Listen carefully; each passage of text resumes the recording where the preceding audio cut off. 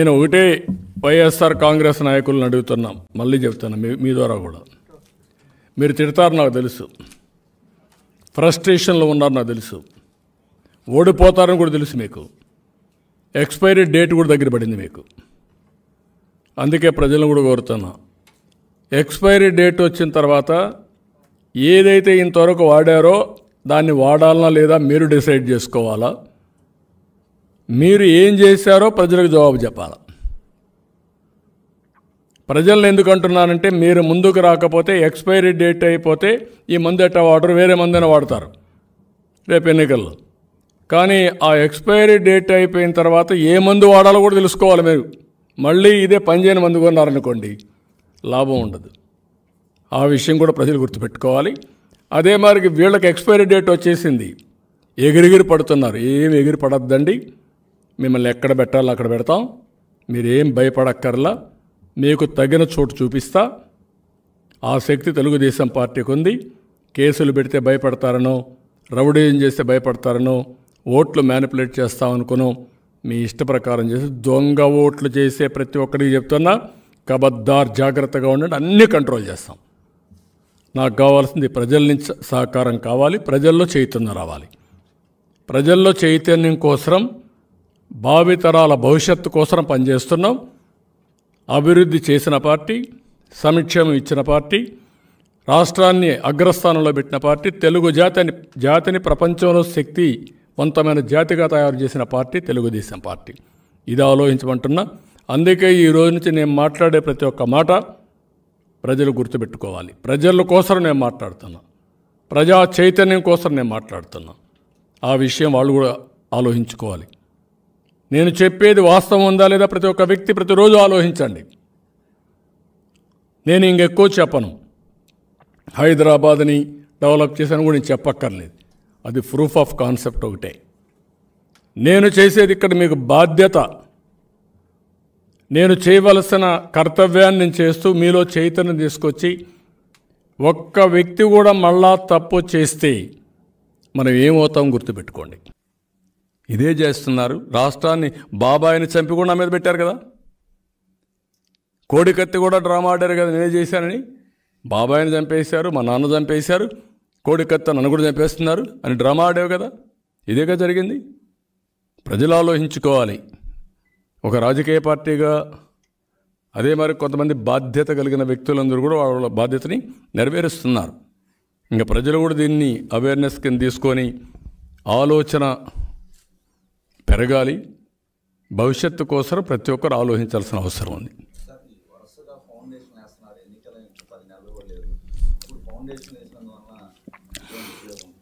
ఉద్యోగం కాదు. ఇప్పుడు ఒక మాట అన్నాడు వెరీ విచిత్రంగా. రెండు వేల ఇరవైలో వచ్చి మీ కొడు మీ బిడ్డ మళ్ళా వచ్చి ఇనాగ్రేట్ చేస్తాడు. ఎక్కడొస్తాడు ఈ బిడ్డ? బిడ్డ కాదు ఇది క్యాన్సర్ గడ్డ అని చెప్పాను నేను. ఇది భరించే శక్తి సమాజానికి లేదు ఇంకా. రావడం కాదు రావడం దేవుడెరుగు తలుచుకుంటేనే నిద్ర రావడం ఎవరికి? ఏమైపోతాం ఈ రాష్ట్రం అని. అలాంటి పరిస్థితులు మళ్ళా నేను వస్తానంటే అంటే అబద్ధాలు బలకడంలో కూడా సిద్ధహస్తుడు మళ్ళా నేను వస్తున్నానని హోప్ క్రియేట్ చేస్తున్నాడు. అంటే అతను అనుకునేది అనుకుంటున్నాడు. మీరు చూడండి మొన్న ఒక సర్వే చేపించాడు డబ్బులు ఇచ్చి ఇరవై ఐదుకి ఇరవై ఐదు వస్తాయంట. ఇంకేమనాలి తన్ని? ఈ దేశంలో డబ్బులు కమ్ముడిపోయేవాళ్ళు చాలామంది ఉన్నారు. బజార్లో మార్కెట్లో సరుకు మారి దొరికింది అంగడి సరి అంగడిలో కొనుక్కోవడానికి సర్వేలు వేసేస్తారు దాన్ని బట్టి ఈయన ఉంటాడు మాట్లాడితే మిమ్మల్ని కొడతాడు. మీరు మీరు రాస్తే మాత్రం మిమ్మల్ని కొడతాడు. వాళ్ళు సర్వే ఇస్తే గ్రేట్ సర్వే అంటాడు. ఇవన్నీ ఉన్నాయి.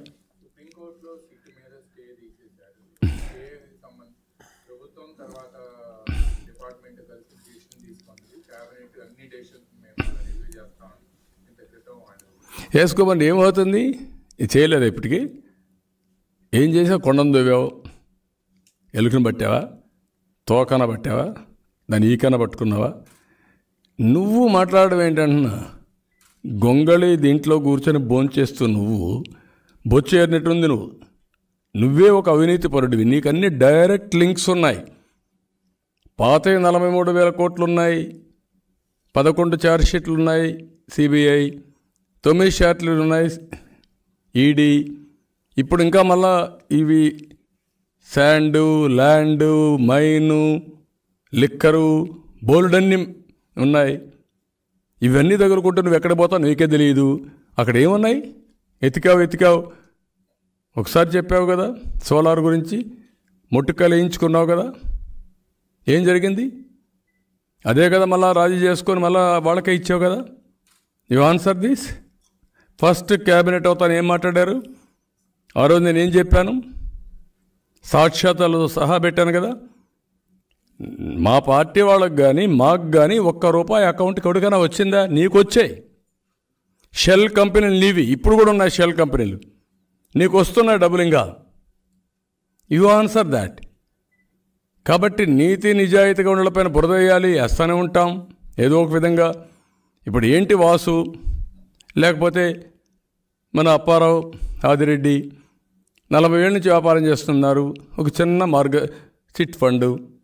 దానిపై నీ ప్రతాపం ఏంటి? నీ కథ ఏంటి? నీ పేపర్కి ఎక్కడి నుంచి వచ్చింది డబ్బులు? నీ టీవీకి ఎక్కడి నుంచి వచ్చింది? నీ సిమెంట్కి ఎక్కడి నుంచి వచ్చింది? వాళ్ళ కష్టార్జితం నలభై ఏళ్ళది. ఒక బీసీ నలభై ఏళ్ళు కష్టపడి ఒక చిట్ ఫండ్ చేసుకుంటే అతనిపైన పడిన దౌర్జన్యం ఏంటి? ఏమనాలి ఇలాంటి వ్యక్తుల్ని? అంటే ఈ రాష్ట్రంలో ఎవ్వడు కూడా వ్యాపారం చేయడానికి లేదు. వ్యాపారం చేస్తే నాకన్నా రాయిచ్చి అతనికి రాయిచ్చి ఇవ్వాలా లేకపోతే పప్పం కట్టాలా? కప్పం కడితే ఓకే లేకపోతే మాత్రం ఎవ్వడు చేయడానికి లేదు. ఏంటయా చేసేది మూడు నెలలు ఉంది. ఎన్ని రోజులు ఉంది ఇంకా? తొమ్మిది నెలలు ఎలక్షన్స్ అనౌన్స్ అవుతాయి. ఏం చేస్తావు నువ్వు? నాలుగేళ్ళ మూడు నెలలు చేరినట్టు ఇప్పుడు ఏవో చేస్తావా ఎవరికి చెప్తావు ఇవన్నీ? ఎంత హెరాస్ చేసావు? అమరావతిలో ఎన్ని కేసులు పెట్టారు? ఏంటి అసైన్మెంట్ ల్యాండ్లు? ఏంటి ఇన్నర్ రింగ్ రోడ్డు ఏంటి ఇన్సైడర్ ట్రేడింగ్? ఇన్సైడర్ ట్రేడింగ్ ఉందా? లేని దాన్ని సృష్టించావు? అంటే ఒక క్రిమినల్ కరుడగట్టిన నేరస్తుడు తప్పులేయాలంటే ఏం చేస్తారో చేసి ఈరోజు మీరు చూడండి productivity level skill development Andhra Pradesh ఇది ది వీకెస్ట్ వై ఆరో స్కిల్ డెవలప్మెంట్ తీసుకొస్తే దానిపైన కావాలని ఆరోపణలు చేసి వాళ్ళు ఏదో చేసుకున్నారంటే వాళ్ళందరిని పిలిపించి కొట్టి కొట్టి కొట్టి బెదిరించి పేరు చెప్పండి. సిబిఎన్ పేరు చెప్పండి. లోకేష్ పేరు చెప్పండి. పార్టీ వాళ్ళ పేర్లు చెప్పండి. ఏం చెప్తారా? ఫైబర్ గ్రిడ్ ఏంటి? ఏం చెప్తారా ఫైబర్ గ్రిడ్లో ఇదే పని.